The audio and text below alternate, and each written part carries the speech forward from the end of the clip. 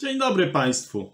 Dzisiejszy odcinek jest y, dziwny, bo będziemy mówić o tym, y, no, czy Ziemia jest płaska, y, czy Ziemia jest sferą. Dlatego, że takie pytanie zadaliście. Ktoś twierdził, y, że ja jestem zwolennikiem płaskiej Ziemi i y, no, od razu powiem, nie jestem. Dlaczego nie jestem? Dlatego, że nie wierzę w ustalenia nauki materialistycznej, tylko opieram się na samej Biblii, na Słowie Bożym i wszystkie zewnętrzne elementy, nawet jeżeli byś postawił przede mną, yy, nie wiem, jakieś obserwatorium i pokazałbyś mi, że Ziemia jest płaska, yy, to po prostu wzruszę ramionami, stwierdzę, że nie masz racji, ponieważ Słowo Boże mówi, że Ziemia jest kulą. Gdybyś mi pokazał taki dysk, yy, no, że to jest Ziemia i ten dysk jest oparty na słoniu, a słoń na czterech żółwiach, jak to przedstawiają specjaliści od wizualizacji. Nic mnie to nie obchodzi, nie ruszy mnie to. O taki obrazek jak tutaj mnie nie ruszy. Jak widzimy, tutaj jest model płaskiej Ziemi. Naukowcy przedstawiają go jako płaski dysk oparty na słoniu, który stoi na czterech żółwiach. Jest to taki model płaskoziemczy. Podobny model mają hinduiści, podobny model mają muzułmanie. A ponieważ coraz więcej gości z tamtych okolic mamy u siebie i poprawność polityczna każe im u nas gościć, i zgadzać się z ich różnymi pomysłami na rzeczywistość, to coraz częściej do przestrzeni publicznej dostają się takie twierdzenia dotyczące y, kosmologii oparte na ich wynalazkach. Trochę sobie żartuję nazywając ten model naukowym, ale nie jest to tak do końca żart, ponieważ do XVII wieku Chińczycy uważali Ziemię za płaską, chińscy naukowcy, i teraz już powstały, można powiedzieć, pseudonaukowe, ale same uważające się za naukowe towarzystwa płaskiej Ziemi. Czyli jest to pogląd naukowy do XVII wieku, a dziś w ramach nauki nazywają go jedni naukowym, a drudzy pseudonaukowym. Pierwszy przykład mamy naukowców rozmawiających z Mikołajem. I tutaj oni mają pogląd, że Ziemia płaska jest y, faktem naukowym. No wiesz, nie przeskoczymy tego. Słońce się kręci, a Ziemia jest płaska. Panowie, Ziemia nie jest płaska, jest okrągła. No masz. Mikołaj, zrozum. No i to jest właśnie to, że naukowcy upierali się przy tym, że Ziemia jest płaska. I za chwilę próbują udowodnić Mikołajowi, że Ziemia jest płaska. Twoją teorię można obalić w 5 minut, 5 sekund. Mam to zrobić? Obalaj teorię. Obalam teorię, zobacz. Jeżeli jest tak mówisz i po prostu Ziemia się kręci, to patrz. Powinienem być w innym miejscu. Jestem w tym samym miejscu. Dokładnie w tym samym miejscu.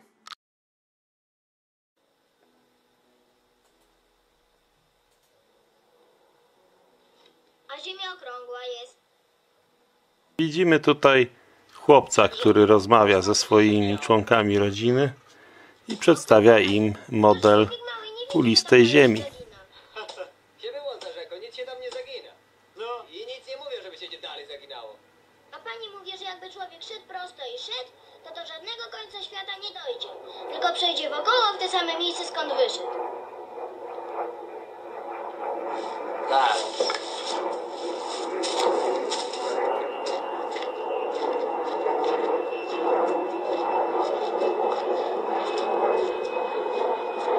No i oczywiście zakończy się to czym? Tym, że płaskoziemcy użyją siły fizycznej przeciwko okrągłoziemcowi, bo to są jedyne argumenty siły, jakie potrafią używać, tak żeby zakrzyczeć, zadeptać, zlać, pobić. A wrócę się od pole, tak? Merytorycznych argumentów nie mają. Tak samo jak wesz. Jakby szła prosto, to przyjdzie o tak.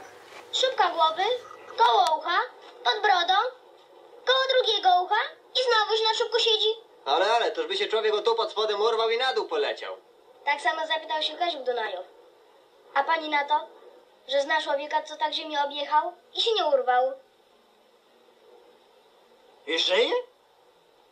Żyje. To ja już pójdę, do widzenia. Gdzie jakie do widzenia? Gdzie do widzenia? Nie tu tobie, bratku, miejsce na śmieszki. Pani tak Co? uczyła. Co? Powiem pani. On smurgiel będzie nie tu Panie, ojca panie! panie straszyć. Żeby ojca i ze stryka śmieszko sobie nie stroić. Zaciął się? Ano! Zasnął. Znaczy nie zapomniał. Jak łatwo zauważyć, naukowcy materialistyczni posługują się różnego rodzaju wizualizacjami, zmyślonymi opowieściami lub też sfałszowanymi doświadczeniami, jak widzieliśmy tego podskakującego naukowca, aby udowodnić, że Ziemia stoi w miejscu. Wiadomo, że ten przygłup zapomniał o tym, że jest przyciąganie ziemskie, siła bezwładności i dlatego wydawało mu się, że dalej stoi w miejscu, on po prostu razem z Ziemią krążył. No ale niestety płaskoziemcy to są właśnie tacy naukowcy, którzy celowo część naukowych praw zapominają albo ich nie znają, albo stosują przemoc, tak jak widzieliśmy, że y, młody chłopak y, wiedział, że Ziemia jest kulą, dowiedział się tego od oświeconej y, ze Słowa Bożego prawdopodobnie osoby, bo inaczej by się tego nie mógł dowiedzieć, ale rodzice konserwatywni, którzy nie wierzyli w jego różnego rodzaju informacje, użyli przemocy, tak, że go zbili za to, że powiedział, że Ziemia jest kulą. A więc y, to jest to, co się na forach obserwuje, że zaczyna się niby merytorycznie, a potem dochodzi do przemocy słownej. Prawdopodobnie, gdyby nie to, że dzielą nas kilometry w internecie, to dochodziłoby do przemocy ręcznej. Zresztą y, płaskoziemcy spalili kilku y, przedstawicieli ludzi, którzy wierząc w Biblii, y, odrzucali płaskoziemczy y, model. Y, Tutaj wszystkich nazwisk nie pamiętam, ale się pojawiają różnego rodzaju takie nazwiska jak Giordano Bruno czy y, ten y, Galileusz i inne tego typu nazwiska osób, które wbrew y, mainstreamowi naukowemu y, nie zgadzały się z tym, że Ziemia jest płaska, oparta na słoniu i czterech żółwiach. Więc y, Ziemia nie jest płaska, oparta y, na słoniu i na czterech żółwiach, jak to przedstawia nauka materialistyczna. Nie wiem, czy się coś posunęło do przodu, ale jak czasami słyszę różnego rodzaju naukowe doniesienia, to mam wrażenie, że to jeszcze idzie coraz bardziej wstecz, bo coraz mniejsze środki idą na naukę.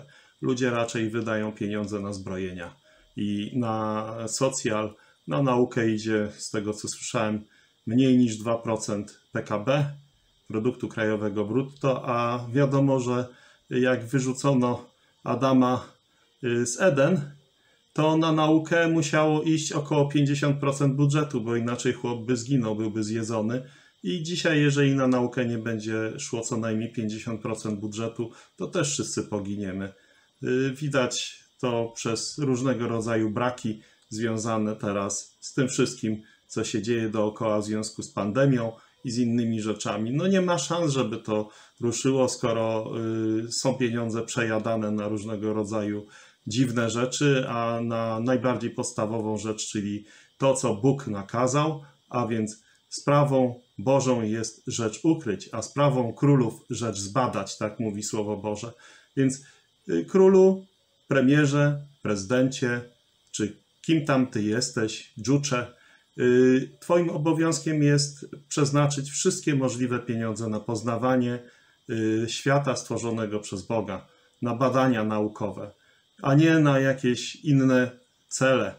Więc jeżeli nie wydajesz na badania naukowe, to sprzeniewierzasz się Bożemu poleceniu. Jesteś wtedy w po prostu buncie przeciwko temu stanowisku, na które zostałeś powołany. I potem mamy tego typu dyrdymały, że dzieci są gdzieś tam, czy tam naukowcy yy, przekonani, że wystarczy podskoczyć i to udowadnia, że Ziemia się nie kręci, albo że wystarczy innego rodzaju durny test przeprowadzić i stwierdzić, że Ziemia jest płaska. Nie, to tak nie działa. Wystarczy otworzyć Biblię i dowiedzieć się, że Ziemia jest kulą zawieszoną na niczym. I to jest to, co Słowo Boże już od dawna objawia.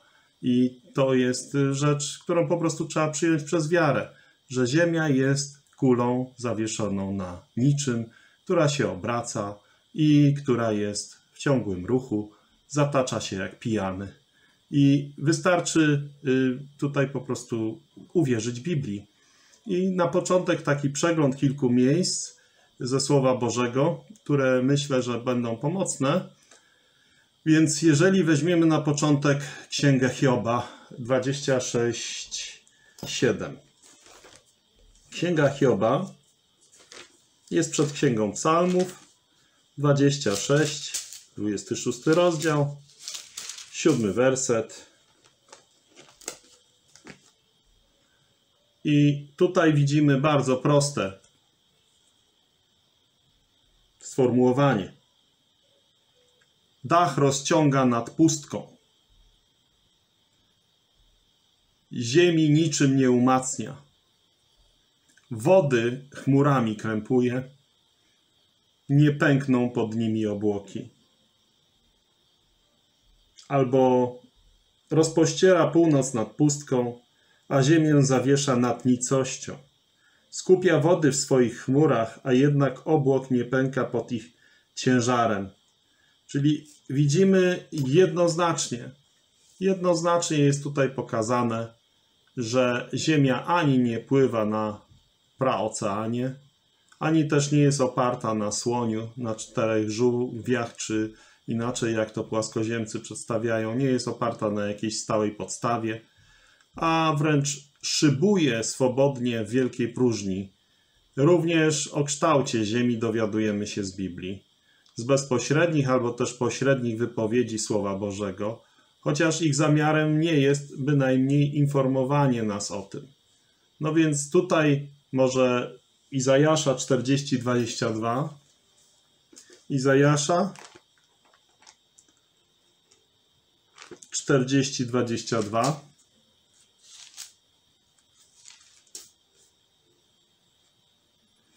Siedzi nad okręgiem ziemi, a jej mieszkańcy są jak szarańcze.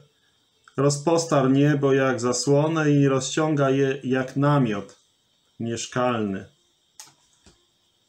Więc ten, co mieszka nad kręgiem, i tutaj nad kręgiem ziemi, to słowo kręg jest specyficznym słowem, ponieważ po hebrajsku to jest coś, co można by powiedzieć jako huk, i to oznacza po prostu kulę, sferę lub rzut kuli sfery na płaskość, czyli yy, okrąg, ale przede wszystkim chodzi o kulę, sferę, taką zgniecioną pomarańczę, geoidę, yy, można by też tak powiedzieć.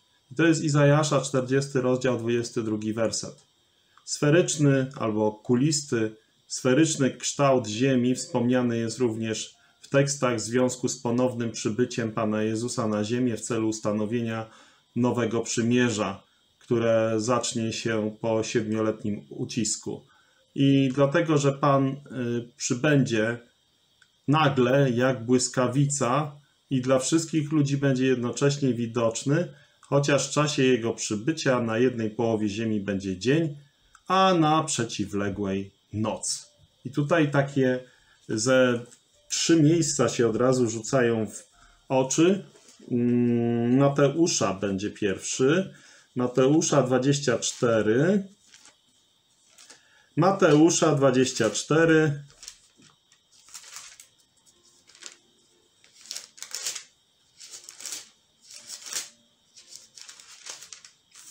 Dwadzieścia cztery, dwadzieścia siedem. Gdyż jak błyskawica pojawia się od wschodu i jaśnieje aż na zachód, tak będzie z przyjściem Syna Człowieczego. I objawienie 1.7. Objawienie pierwszy rozdział, siódmy werset.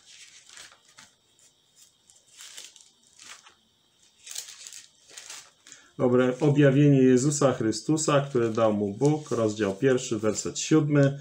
Oto przychodzi wśród obłoków i ujrzy go wszelkie oko, a także ci, którzy go przebili, i będą biadać nad nim wszystkie plemiona ziemi. Tak jest.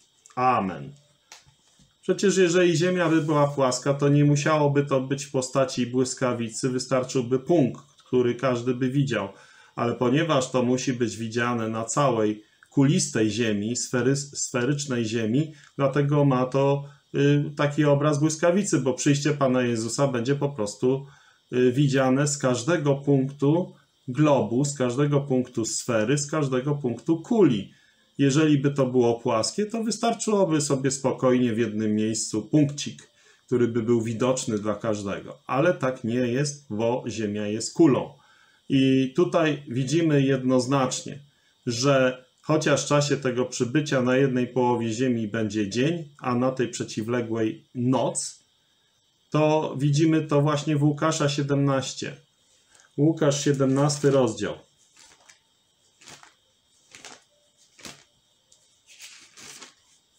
Siedemnasty rozdział, 34 do 36 wersetu. Powiadam wam, tej nocy dwaj będą na jednym łożu. Dwaj będą na jednym łożu. Jeden będzie zabrany, a drugi pozostawiony. Dwaj będą na jednym łożu, dlatego że będzie to noc. Dwie mleć będą na jednym miejscu.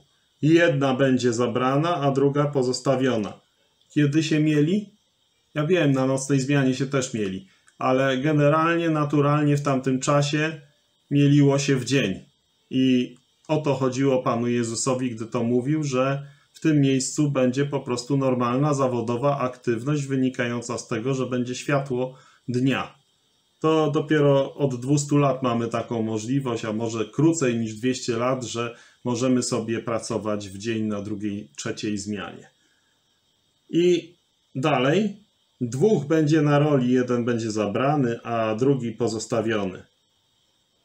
Czyli znowu praca polowa. Ja wiem, teraz ciągniki potrafią pracować w nocy i to się da zrobić. Yy, mają silne reflektory. Natomiast Pan Jezus miał na myśli pracę rolną o charakterze, który występował za jego czasów i to po prostu było możliwe tylko wtedy, kiedy było na wysokości słońce w tym miejscu, w zenicie, tak żeby można było pracować że oświetlało możliwe do wykonania prace polowe. Czyli widzimy dwóch, no i dzień się tak dzieli, tak? Jedna trzecia to jest zazwyczaj noc, około 8 godzin się śpi, około 8 godzin się wykonuje prace domowe, czyli tak jak mełą te kobiety, i około 8 godzin wykonuje się prace zawodowe, Natomiast w tamtym czasie ten podział był bardziej y, równy. 12 godzin to się nazywało noc i 12 godzin nazywało się dzień. Dlatego, że po prostu naturalne światło wymuszało pewną rytmikę pracy. I też wynikało to z prawa zakonu, że dzień ma 12 godzin i prawo sabatu nakazywało, że 6 ro dni robić będziesz, czyli 72 godziny tygodniowo, bez tego nie byłoby odróżnienia sabatu, w który należało powstrzymać się od jakiejkolwiek pracy, od jakichkolwiek wyjść i trzeba było przebywać w domu, nie ruszać się z niego. A więc jako efekt uboczny z Łukasza 17:34 widzimy, że y, po prostu oni będą w dzień i w nocy w czasie przyjścia Pana Jezusa, a to przyjście Pana Jezusa nie przypadkiem jest porównane do błyskawicy, dlatego że po prostu gdyby Ziemia była płaska, wystarczyłby punkt. Ale ponieważ to jest kula, sfera, geoida, no to musi to być po prostu w postaci błyskawicy, jeżeli wszyscy ludzie całego świata mają Pana Jezusa widzieć. Ta trwająca jednocześnie na Ziemi sytuacja za dnia i w nocy Przedstawiona tu jako praca w polu lub nocne odpoczywanie zależy od tego, w jakim miejscu obracającej się Ziemi akurat ktoś się znajduje. Również Zachariasza 14, 14:7 I będzie tylko jeden ciągły dzień, zna go Pan, nie dzień i nie noc, a pod wieczór będzie światło. To ta wzmianka w Zachariasza e, zapowiada przyjście Pana nie w sposób odpowiadający tamtejszym ówczesnym poglądom na świat, a w sposób odpowiadający prawdzie. Będzie to jeden, jedyny dzień, konkretna data, Jachwech tylko wie o nim.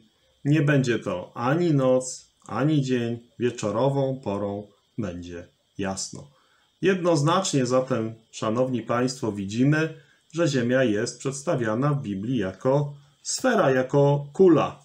Jeszcze kilka miejsc, które dodatkowo mogą nam pomóc. Nie bać się tego, co krzyczą naukowcy, twierdzący, że Ziemia jest płaska, lub inni materialiści, tylko kierować się samym objawionym Słowem Bożym.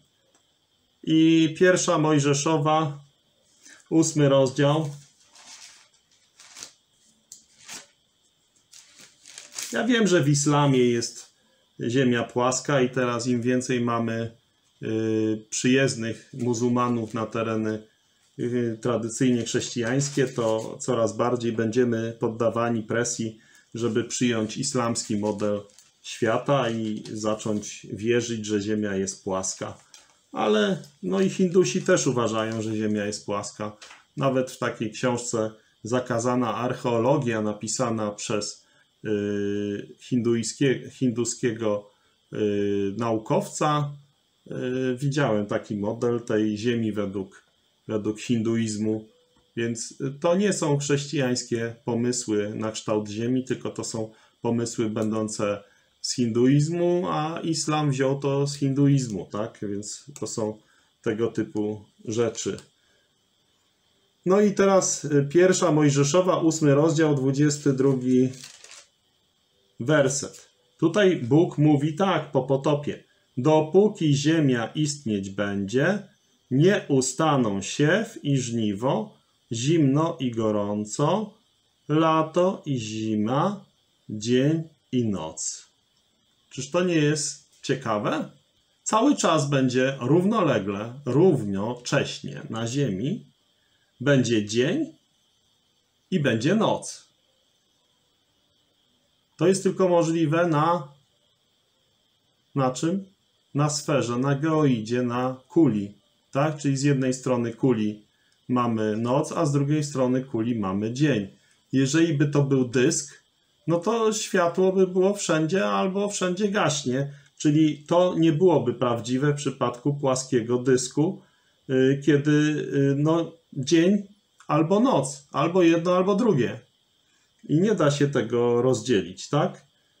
Y, I dopóki Ziemia istnieć będzie, nie ustaną siew i żniwo, czyli są obszary cały czas, gdzie się na Ziemi sieje, a w innym miejscu cały czas się żniwuje, to znaczy, że te zawsze na ziemi gdzieś trwają żniwa, zbiory.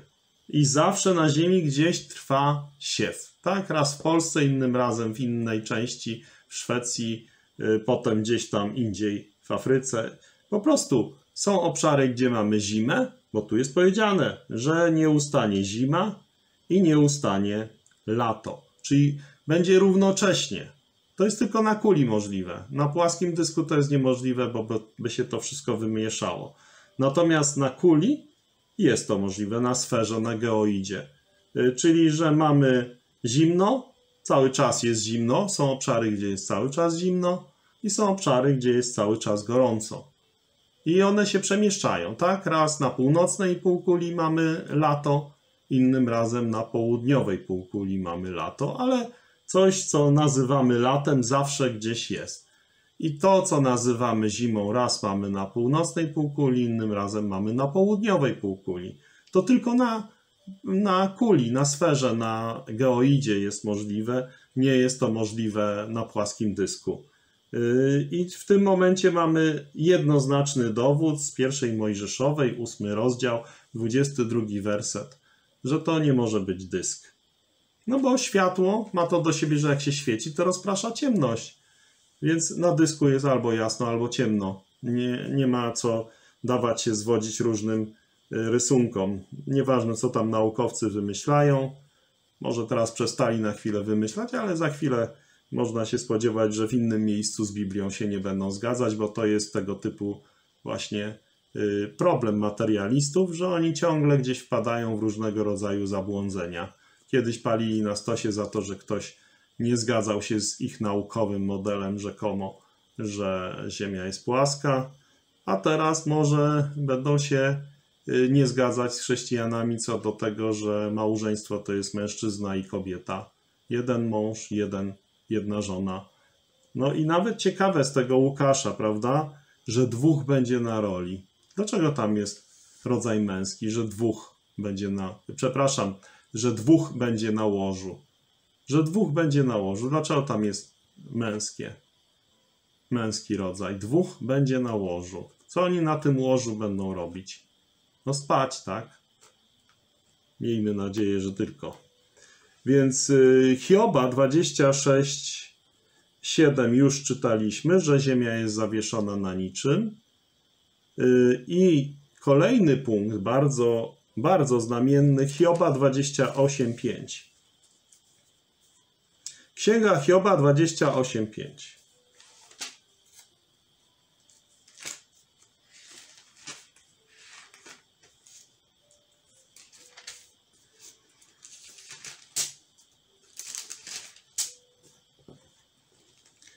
Hioba 28:5 Z ziemi pochodzi chleb, lecz w głębi jest ona rozgrzebana jakby przez ogień.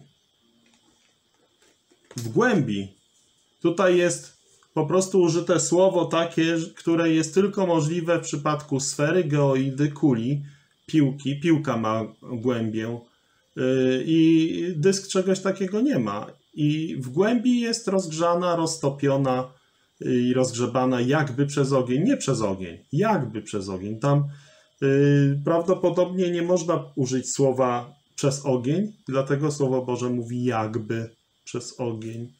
Generalnie Ziemia w centrum, w środku tej kuli jest gorąca jest rozgrzebana, czyli takie rozgrzebanie, tak jak lawa, i jest ona w głębi rozgrzebana jakby przez ogień. Skąd w księdze Hioba już to wiedziano? Ano to jest to, że to jest objawienie Boże. To nie jest ludzka nauka, to jest po prostu Słowo Boże i Bóg to wie. Po prostu Bóg wie, jaką stworzył ziemię. I ta ziemia widzimy nie tylko jest zawieszona na niczym, nie tylko jest kulą, ale wewnątrz jest rozgrzebana jakby przez ogień.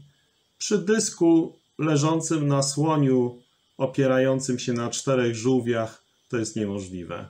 Jakim? Wtedy w środku, w głębi, w ogóle nie ma głębi, tak? No to ja się nie dziwię, że od razu spalono tego Giordano Bruno, czy tam yy, Galileusza, czy próbowano ich jakoś yy, prześladować, bo ja nie wiem w końcu, czy oni spłonęli, czy nie. Generalnie, tak jak yy, tego chłopaka zlało tych dwóch, tak samo wtedy naukowcy się dobrali do nieprawomyślnych naukowców i tych naukowców, którzy uważali, że Ziemia jest kulą, sferą, yy, że krąży wokół Słońca, yy, no to po prostu traktowano przemocą różnego rodzaju czy to blokując dróg ich prac naukowych, czy też pozbawiając ich habilitacji, y, czy też nie dopuszczając ich do obrony doktoratu, czy też y, nie pozwalając im zrobić tytułu profesorskiego, czy też y, w inny sposób generalnie ta mainstreamowa nauka blokowała rozwój nauki prawdziwej. No więc widzimy jednoznacznie, że Ziemia jest kulą rozgrzebaną wewnątrz jakby przez ogień, zawieszoną na niczym, kręci się tak, że równocześnie w tym samym czasie jest na Ziemi lato i zima, dzień i noc, czyli musi być taki kawałek ziemi, gdzie jest dzień i taki kawałek ziemi, gdzie jest noc. Równocześnie nie może on ustać, bo tak powiedział Bóg, że zawsze musi być dzień, zawsze musi być noc. Zawsze musi być kawałek ziemi, gdzie jest lato, zawsze musi być kawałek ziemi, gdzie jest zima. I musi być cały czas w którymś miejscu ziemi ciepło i w którymś kawałku ziemi musi być zimno.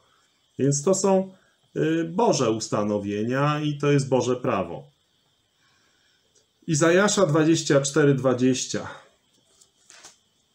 Izajasza 24:20.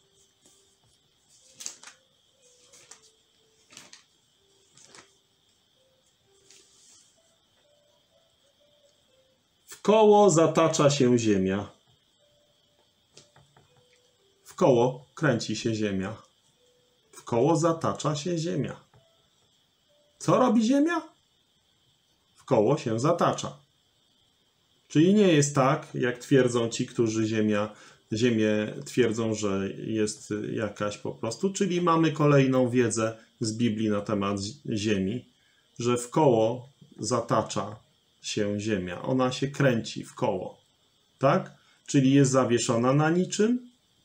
Yy, jest po prostu w takiej próżni się przemieszcza. Sama się wokół siebie kręci. Yy, I to, żeby dzień i noc był, no to właśnie to kręcenie się wokół siebie.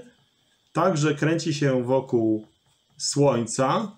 To powoduje, że zmienia się lato i zima i są odmierzane lata przez Słońce, kolejne roczne okresy i po prostu jeden obrót Ziemi wokół Słońca trwa około roku, tak? Czyli widzimy jednoznacznie, że yy, Słowo Boże nie pozostawia tu żadnych wątpliwości. Kolejne miejsce Jeremiasza 31-37 Jeremiasza 31, 37.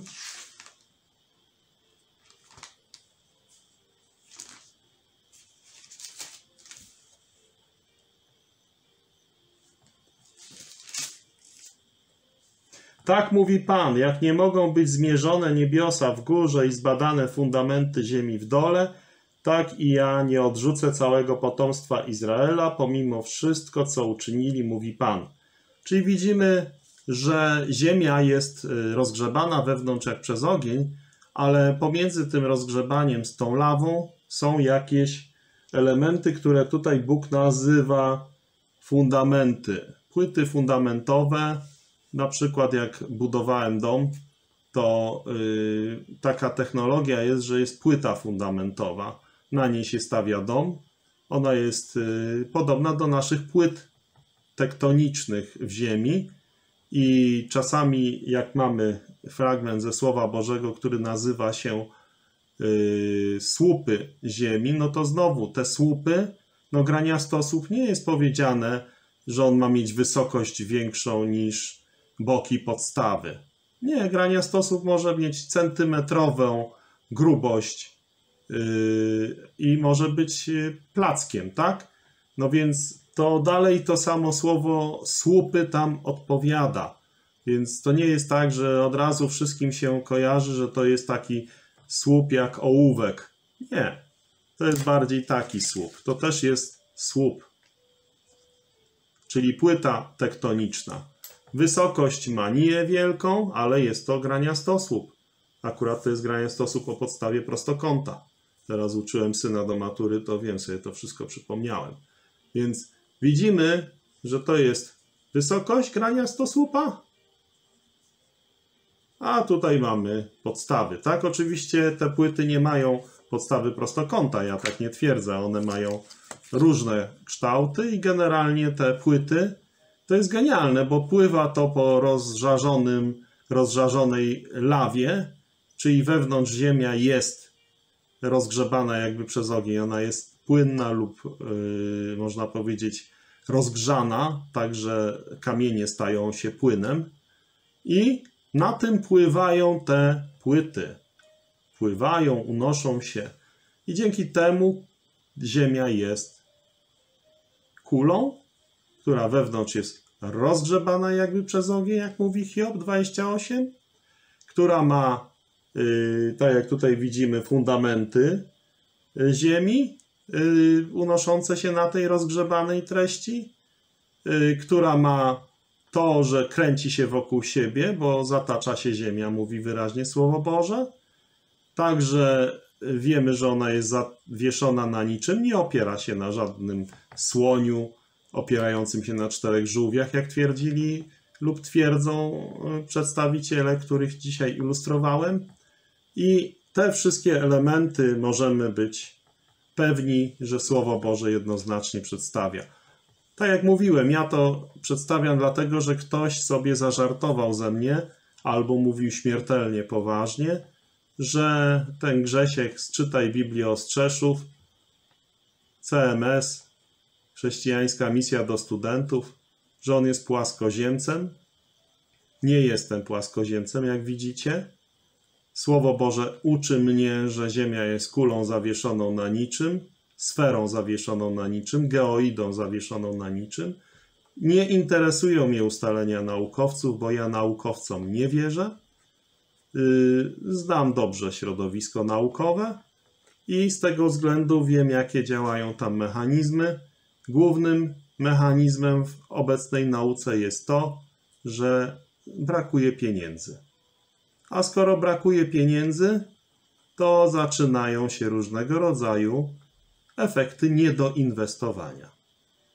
Jeżeli, dam prosty przykład, jeżeli byłbym kierownikiem grantu naukowego i miałbym zatrudnić młodego człowieka za, tak jak proponuje na Narodowe Centrum Nauki, za pieniądze rzędu 3000 na rękę, gdzie on jako y, kasjer w Biedronce dostaje podobne pieniądze, a teraz sobie porównajcie odpowiedzialność za szukanie prawdy jako naukowiec, gdzie y, jest się nielimitowanie obciążonym różnego rodzaju badaniami naukowymi, jeśli chce się to zrobić porządnie, a pracę ciężką, pracę kasjerki w Biedronce.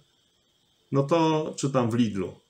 No to rachunek jest prosty. Przyjdzie ktoś, kto chciał być kasjerką w Biedronce, ale ponieważ ma słaby kręgosłup, to na kasjerkę w Biedronce się nie nadaje, bo tam czasami trzeba układać towar. To zostanie wtedy naukowcem. Gdzie ta nauka może przy tym niedoinwestowaniu pójść? A tak się dzieje już mniej więcej od 100, od 80 lat w nauce. I będzie się tak działo w każdym kraju. W Stanach nie jest lepiej. W Stanach Zjednoczonych właśnie się zaczęło tego typu patologiczne podejście do nauki. Skopiowali to inni możni tego świata. Jedyne kraje gdzieś tam w Azji, które jeszcze jako tako poważnie podchodzą do nauki, u nas na kontynencie europejskim Szwajcaria w miarę poważnie podchodzą do nauki. A reszta? No ale to poważnie to dalej jest nic. Tak? To są niewielkie kwoty. Tak jak mówiłem, konsekwencją tego, konsekwencją tego będzie to, że będzie coraz więcej mądrych naukowców w cudzysłowiu, czyli będą, muszą zrobić habilitację, muszą zrobić doktorat, muszą zrobić tytuł naukowy, a więc muszą wymyśleć coś nowego. No więc nie zdziwcie się, że niedługo będziecie słyszeć od naukowców różne dziwne rzeczy, jeżeli dalej będziecie jako podatnicy wybierać rządzących, którzy tak mało dają na naukę. To jest wasza wina. Nie wina rządzących, oni jedynie realizują ten program, który wyście im zlecili jako wyborcy. Więc możecie mieć tylko i wyłącznie do tego miłego człowieka, którego widzicie w, w lustrze w łazience.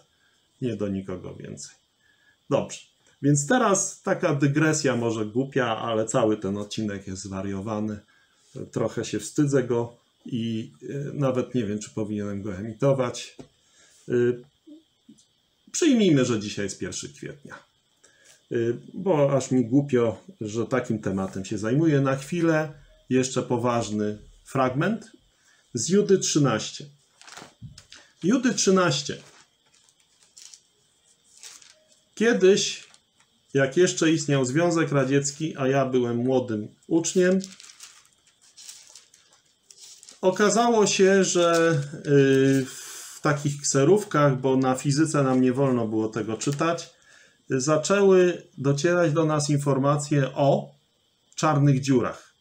Czarne dziury to nie wiem, czy wiecie, co to jest, bo może też y, nie mieliście dostępu do tej wiedzy, ale generalnie z grubsza mówiąc, jest to takie coś w kosmosie, co wciąga w siebie gwiazdy i już nie wypuszcza. Gwiazda to jest najczęściej dużo większa y, gwiazda niż Słońce, bo Słońce też jest zaliczane do gwiazd, nasze Słońce. I to wcale nie do większych gwiazd, tylko do takich sobie gwiazd, z tego co pamiętam z fizyki. I w tym momencie taka czarna dziura robi hap. Nie wiem, czy tak hap, bo to, to jest takie prymitywne przedstawienie. Generalnie wciąga tą gwiazdę i już nie wypuszcza. I jak trafiłem na Judy 13, to zrozumiałem, że Biblia jest Słowem Bożym. Sobie przeczytajmy. Tutaj jest o zwodzicielach napisane tak. Błąkającymi się gwiazdami, dla których zachowane są na wieki najgęstsze ciemności. I kluczowe słowo. Tam jest gęstość materii taka, że jeden centymetr materii w czarnej dziurze jest bardzo, bardzo, bardzo ciężki. Bardzo, bardzo, bardzo ciężki to jest za mało powiedziane. Jest to taki poziom zagęszczenia materii, że podobno to się zapada samo pod swoją własną grawitacją, jest tak ciężkie. Nie wiem, czy ja w ogóle to mówię poprawnie. I teraz tutaj widzimy najgęstsze ciemności. No, czy można to lepszym słowem powiedzieć? Czarna dziura ma tak silną grawitację, że wciąga światło. Dlatego jest najgęstsza ciemność. I co ona robi? Wciąga gwiazdy. Czyli wyrywa gwiazdę z jej pola, no nie wiem, czy grawitacyjnego to jest właściwe y, powiedzenie, ale chyba tak, bo nawet galaktyki y, krążą wokół czegoś, czyli też działa prawo podobne do grawitacji. Czyli wyrywa tą gwiazdę z jego y, pola grawitacyjnego. Ta gwiazda się gdzieś tam turla po wszechświecie, nagle trafia w pole grawitacyjne czarnej dziury i już nigdy z tej czarnej dziury nie wyjdzie. I to powiedział prosty chłop Juda. A skąd on to wiedział? No więc wiedział to stąd, że to Bóg mu to powiedział. I dla niego było to tak oczywiste, jakby opisywał gotowanie kartofli. Ba, kartofli nie mógł wtedy gotować, bo jeszcze nie odkryto Ameryki. Więc generalnie jest to yy, no, mocny dowód, tak, że ci zwodziciele są błąkającymi się gwiazdami, dla których zachowane są na wieki najgęstsze ciemności. Niesamowite. Opisana czarna dziura. Czarna dziura, którą dopiero w XX wieku gdzieś tam się przypisuje, że Einstein wpadł na trop, a potem ktoś inny to rozwinął, tak? Więc jednoznacznie widzicie, że yy, no, sprawą Bożą jest rzecz ukryć i objawić tylko swoim ludziom w Słowie Bożym. A sprawą królów jest rzecz zbadać. Takie, taka jest delegacja dla króla. A więc wszystkie środki, jest powiedziane dla króla, wszystkie pieniądze przeznawaj, przeznaczaj na zdobycie mądrości. Nie na jakieś tam inne rzeczy, tylko na badania naukowe, chłopie. Jak zarządzasz krajem, zarządzasz powiatem, zarządzasz szkołą, zarządzasz firmą. Rozwijaj wiedzę. Budujesz moc wtedy swojego przedsiębiorstwa w oparciu o nowoczesną wiedzę naukową. Zatrudnij think tank. To jest najważniejsze. To jest zobowiązaniem każdego, kto jakąkolwiek cząstkę władzy ma na ziemi i to, to zobowiązanie Bóg włożył na każdego, komu podzielił, przydzielił choćby jakąkolwiek cząsteczkę władzy. Jesteś ojcem? Też masz cząsteczkę władzy i za wszystko, co masz, nabywaj rozumu. Rozwijaj wiedzę Twojej rodziny. Dbaj o rozwój intelektualny, bo inaczej będziesz miał płaskoziemców w domu Inaczej będziesz miał różnego rodzaju y, specjalistów, antyszczepionkowców i innych y, szaleńców w domu. No bo to jest wina właśnie rządu, że zamiast, jeżeli ktoś ma kłopot ze znalezieniem pracy, no to wysłać go na szkolenia, aż wreszcie będzie miał dość tej nauki na tyle, że pójdzie do pracy, a nie na zasiłek dla bezrobotnych, gdzie on po prostu y, obsługuje pilota. Nie, po prostu jeśli gość nie radzi sobie ze znalezieniem pracy, bo umie kopać rowy, nauczcie go całkować. No niech się zmęczy, niech się najpierw nauczy całek na pamięć. Yy, no, niepotrzebne. Nieprawda. To nie jest niepotrzebne, to jest trudne, to trzeba wymusić i kto nie chce pracować, niechaj nie je, tak mówi Słowo Boże. I raz, dwa, by się okazało, że y, nagle człowiek, który nie miał żadnych perspektyw w znalezieniu pracy, choćby po to, żeby już nigdy więcej tych całek nie rozwiązywać, znalazłby pracę. No, taki prosty przykład, ale tak jak mówię, odcinek jest, y, przepraszam bardzo, nie do końca poważny, bo temat jest taki, że ja po prostu zwyczajnie po ludzku nie daję rady być przez cały czas poważny. Jak myślę, że o takich kompletnych głupotach jest już potrzeba mówić. Idiokracja. Po prostu idiokracja to jest taka sytuacja, gdzie z powodu rządów większości y, przez y, działanie demokratyczne zaczynają rządzić osoby niekompetentne i ta niekompetencja z każdym krokiem się pogłębia. To jest całkowite odrzucenie praw Bożych, które Bóg narzucił w swoim słowie. Więc czytajcie Biblię, Słowo Boże, ratujcie przynajmniej swoje rodziny, jeżeli już widzicie, że nie jesteście w stanie uratować swojego świata. Jak uratujecie swoje rodziny, to być może w dwie, trzy rodziny będziecie w stanie stworzyć coś w rodzaju mikroenklawy w tym wariactwie. Potem być może się uda pozyskać małą gminę w tym kierunku, żeby potem poszerzyć to, ale no po prostu chociaż ratuj, ratujcie swoje dzieci albo swoich rodziców, swoich bliskich, bo to już jest straszna katastrofa, co się dzieje. Czytajcie Biblię, Słowo Boże. Mm, to jest podstawowe zawołanie, do którego jestem mocno przekonany, gdyż tylko czytanie Słowa Bożego może ludziom pomóc. Przede wszystkim w zbawieniu. Uwierz Pana Jezusa, a będziesz zbawiony, Ty i Twój dom. I jeżeli uwierzysz Pana Jezusa, to będziesz już miał pewność życia wiecznego.